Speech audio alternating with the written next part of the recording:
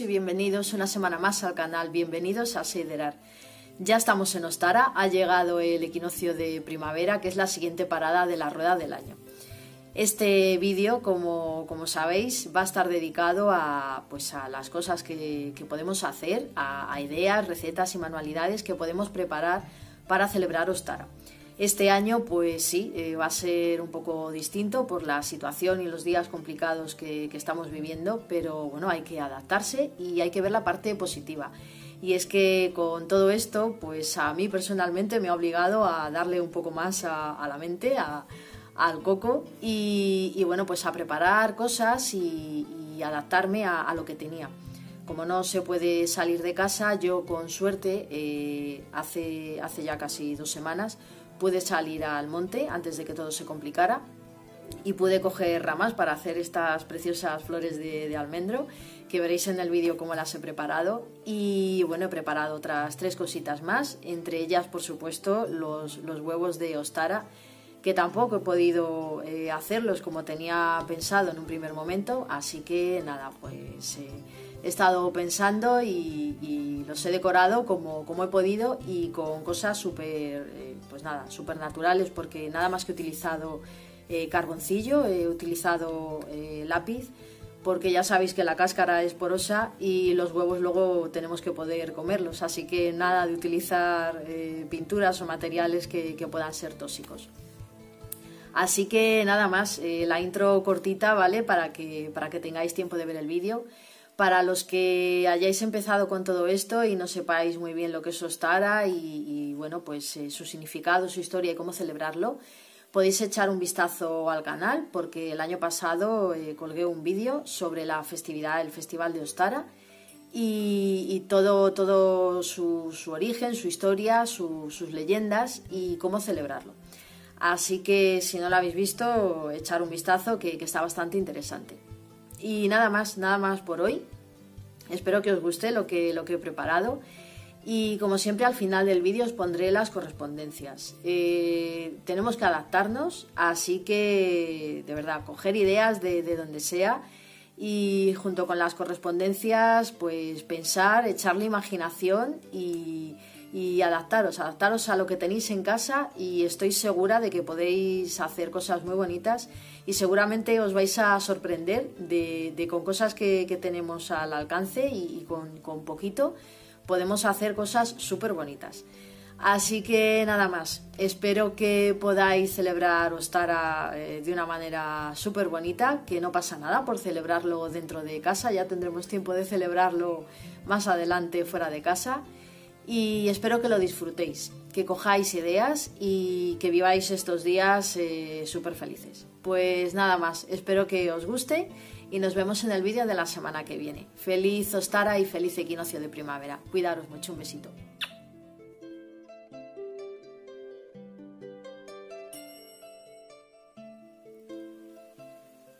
Para hacer las flores de almendro necesitaremos pocas cosas y sencillas.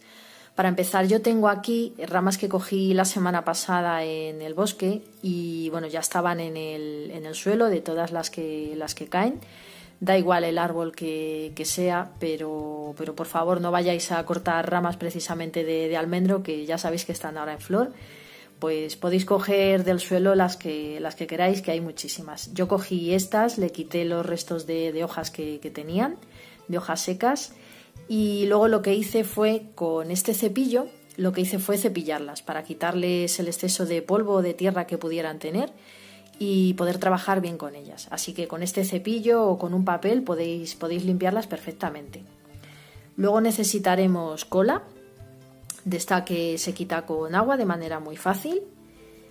También necesitaremos un hilo de este tipo, de, algodón, de yute o de cáñamo, este, este tipo de, hilo de color grueso, o sea, grueso y de un color, pues, si puede ser así marrón, o, pero bueno, que tengáis en casa va bien, ¿vale? No, no pasa nada.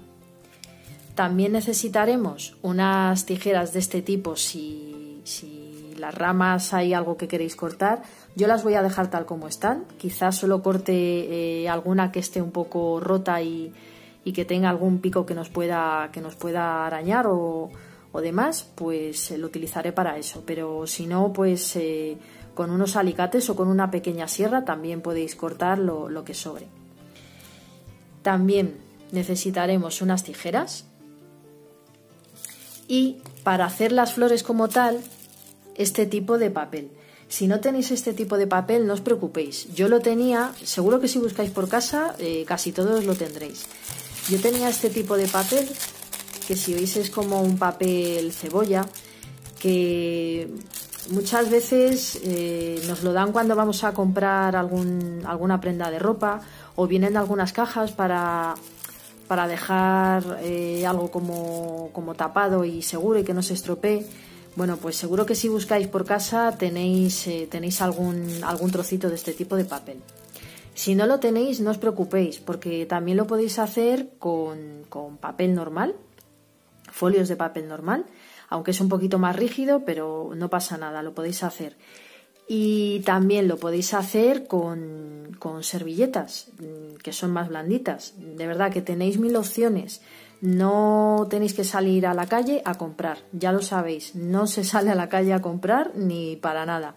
Así que tenemos que echar la imaginación y, hacerlo como, podamos. Así que yo estuve buscando por casa y encontré este, este papel y es con el que voy a hacer las flores. Y por último, necesitaremos eh, un, un, cordón más finito que el que os he enseñado antes, pues de este tipo. Este es cordón de, algodón blanco pero yo lo que hice fue que, lo dejé durante un día entero, eh, lo he dejado eh, sumergido en, un poquito de zumo de, remolacha y se ha quedado con este color. Después veréis para qué, para qué lo he teñido. Pero ya veis que con cosas que tenemos en casa podemos hacer lo que queramos. Así que si no tenéis remolacha, pues podéis sumergirlo en vino tinto o o en, o en un zumo que esté hecho con lombarda o bueno, pues algo que le dé un color así, pues son rosado. Pues esos son, esas son las, las cositas que vamos a necesitar para hacer nuestras flores de almendro, así que vamos a empezar. Para empezar a preparar las flores de almendro, hay que limpiar primero muy bien, tal como os he dicho antes, las ramas. Yo ya las he limpiado y las he cepillado muy bien con, con el cepillo que os he enseñado antes. Y ahora lo que voy a hacer es eh, quitarles pues estas zonas de aquí que, bueno, como eran ramas que estaban en el suelo, pues están astilladas y, pueden, pueden eh, arañarnos o, hacer alguna, alguna herida en las manos. Así que para trabajar mejor y que luego el resultado quede más bonito, vamos a cortarlo con, con estas tijeras de podar.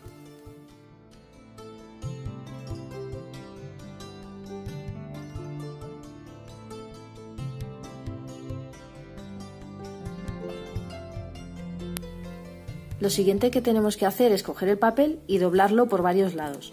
De esta manera a la hora de cortar ganaremos tiempo porque cortaremos varias flores eh, a la vez. Si el papel es muy grueso os aconsejo que no hagáis muchas dobleces porque entonces os costará mucho cortarlo y seguramente las flores salgan mal. Así que con este papel, como es finito, yo he podido doblarlo más veces, pero con un papel de folio quizás con cuatro o cinco veces que lo dobléis sea más que suficiente. Así que una vez está doblado, lo que voy a hacer es dibujar las flores de almendro y después recortarlas.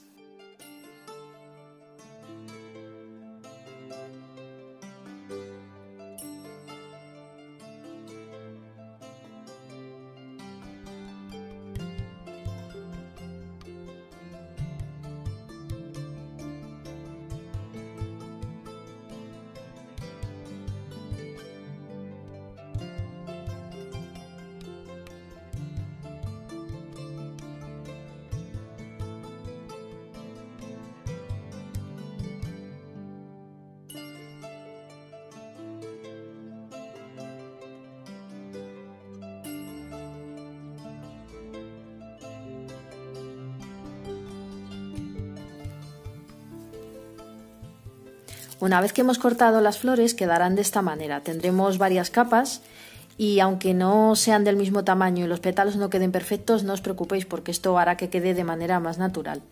Yo lo que voy a hacer es juntar varias capas para hacer cada una de las flores. Con cuatro capas es más que suficiente y podéis alternar los tamaños de las flores para de esta manera que quede más natural y que dé sensación de volumen.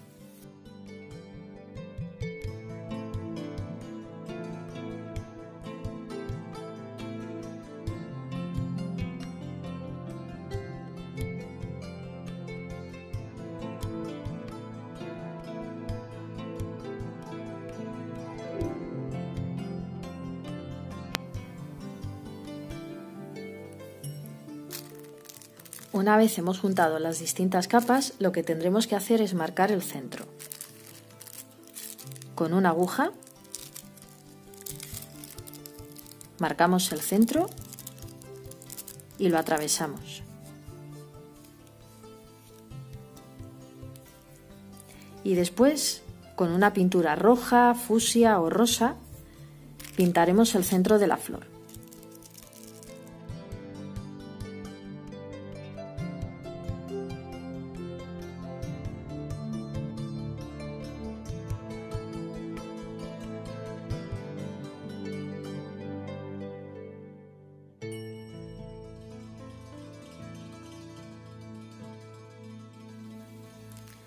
Una vez la hemos pintado, lo que tendremos que hacer es el agujero central, hacerlo un poco más grande para poder meter los estambres.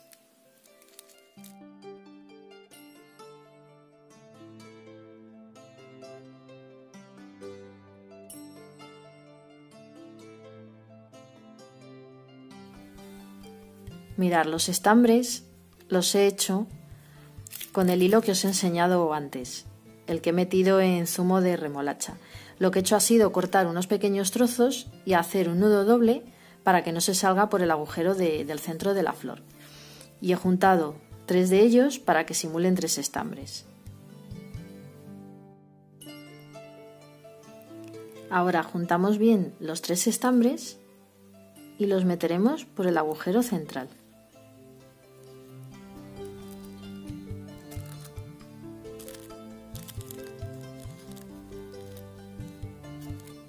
Luego lo recortaremos.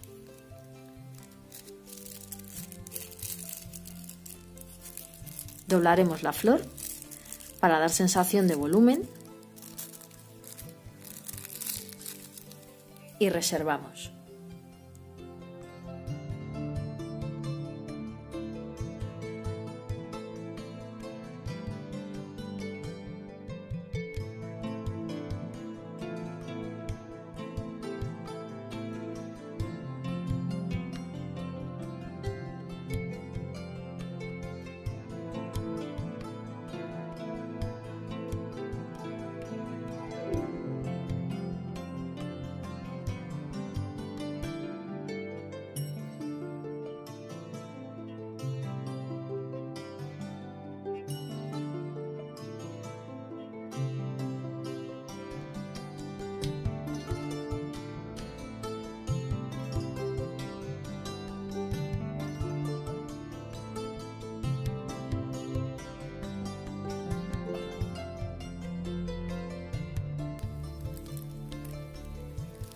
Ya he recortado los estambres para que tengan un tamaño más natural y no sean tan largos.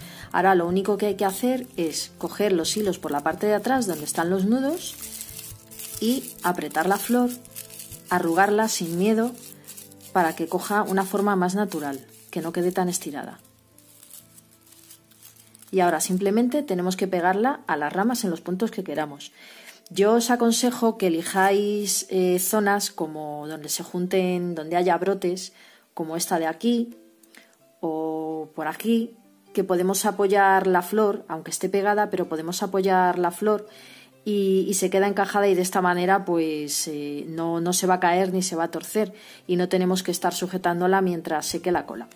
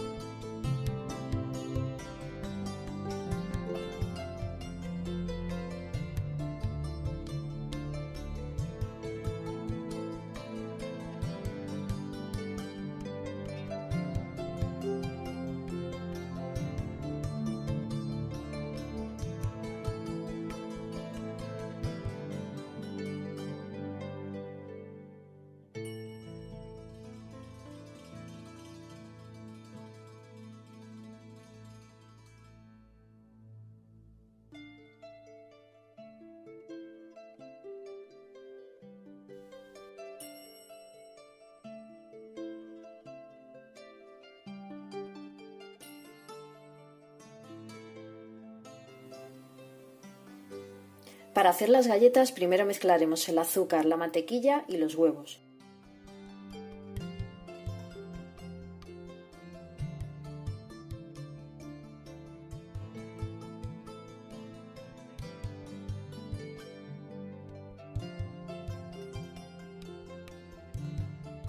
Cuando estén bien mezclados añadiremos la ralladura de limón, la harina, el polvo de hornear y las rosas.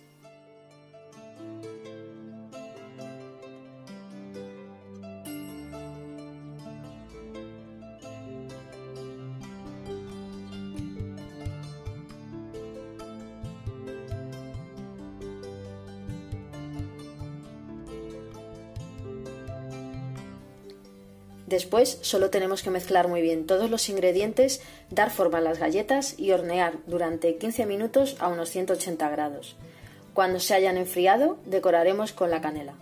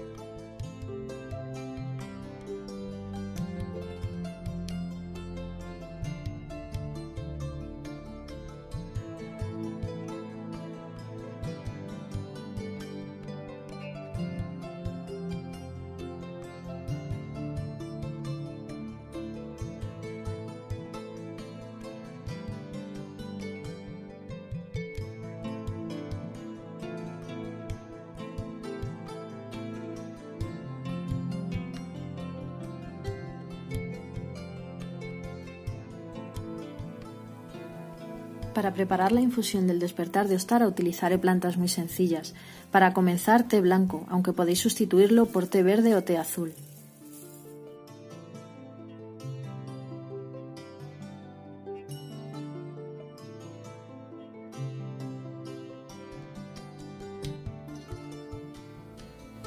Un poco de caléndula,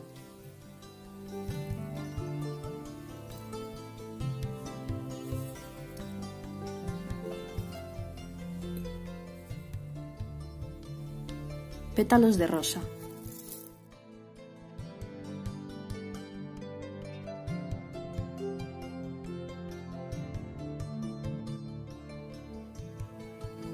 Cáscara de naranja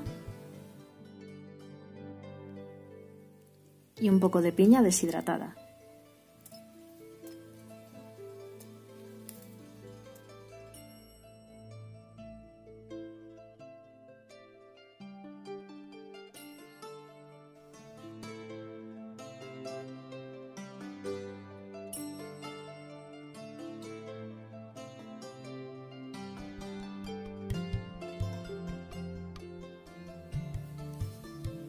Para el ramo del equinoccio voy a utilizar plantas secas y, de tela que tenía por casa. Hay que aprovechar todo lo que podamos en estos días. Así que yo he cogido estas ramas de, color verde, estas flores en tonos amarillos claritos, esta otra que es una flor seca, un par de ramas de color amarillo y estas flores que tenía secas de color blanco.